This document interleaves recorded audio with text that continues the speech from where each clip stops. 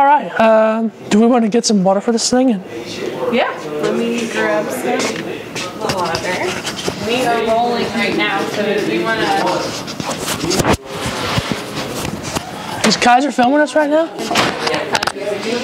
Do not yet. All right. So uh, to make this uh, espresso, you have a bean grinder here full of uh, beans. Yeah, it's full. Beans and uh, a button on the side. And I'm like right in your shot. Lydia's pouring water.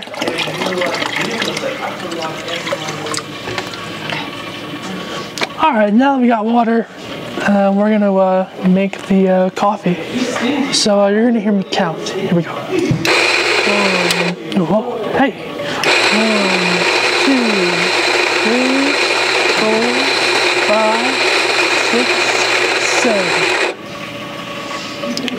All right, and uh, so uh, now that I'm done doing that, I put this down here, and uh, I take my fingers and just kind of course the coffee into it, into the portafilter there. So when I go to stamp it down, there's less likely of coffee getting out everywhere and becoming a huge mess. Uh, normally I would do this with two hands, but I have one, so we are making it work with one hand. I'm going to take these two fingers, hold as a guide, hold it oh, still.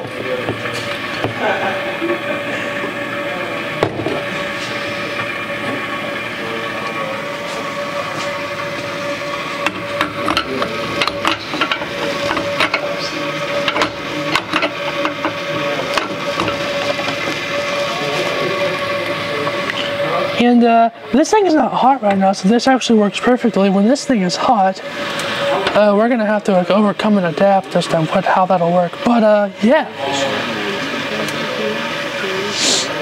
So uh, now that that's in the portafilter, um, there is cups over here in this cart. Uh,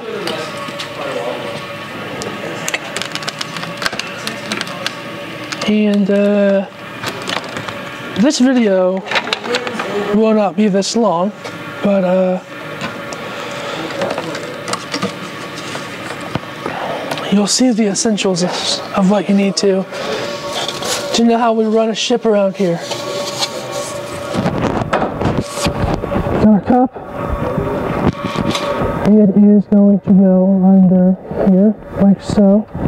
Um, before you put it under under there, if there's uh, a flavor that's requested or something is requested, that'll we we will do that too.